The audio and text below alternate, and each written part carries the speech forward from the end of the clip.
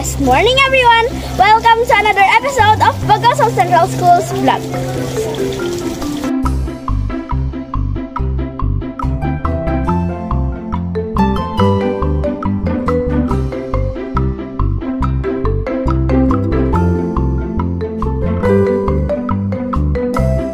Have you participated in a campus journalism competition? How did you feel? Like me,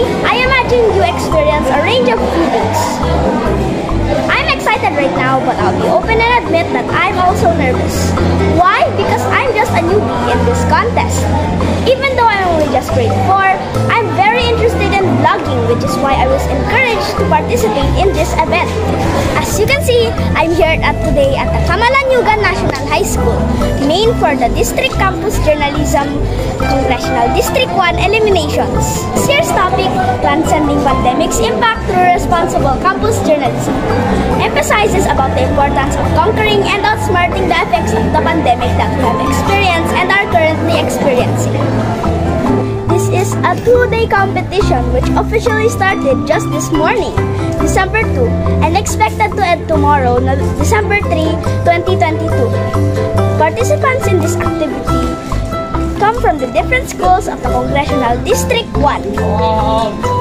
By the way, what is campus journalism?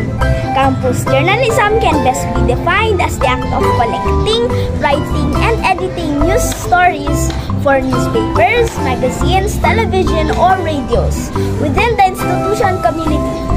Through these activities, young journalists inform their fellow learners about campus events and uncover stories that outside media might miss. Come and join me and let's learn more about journalism and how journalists outsmart the pandemic's impact after two years of restriction in conducting in this activity. I have interviewed one of the coaches in this competition. So the fifth year team in